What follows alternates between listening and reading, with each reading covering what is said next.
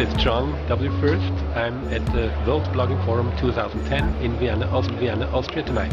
three months period, we just printed out the When I look at the uh, Twitter accounts of our world leaders, does anybody know this tweet?